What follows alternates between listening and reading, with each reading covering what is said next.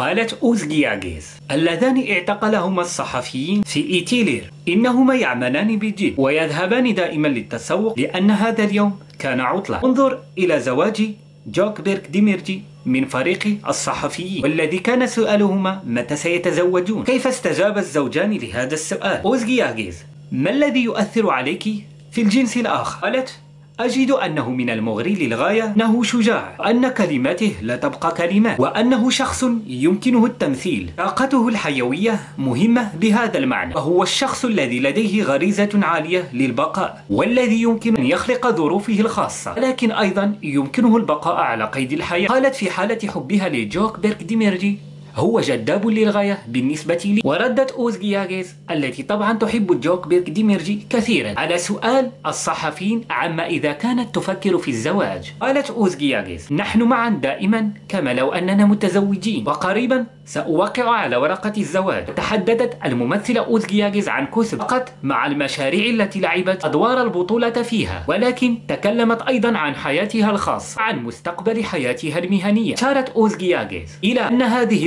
الملاحظات لعبت بطريقة مختلفة. قالت عن تمثيلها بصفة ممثلة إن أعظم مادة لديك هي نفسك بالفعل. حيث قالت ليس لدي أي مادة أخرى غير نفسي. لذلك أحتاج إلى دمج المواد التي أملكها بنفسي مع ما جربت. حيث قالت ليس كل شيء مخططا بالتأكيد. وأشارت أن زواجها بجوك بيرك ديميرجي لم يتم بعد بسبب كثرة الأعمال التي تلعب في الأدوار الرئيسية. لذلك نعتقد أن زواجها بجوك بيرك ديميرجي سيكون قريبا.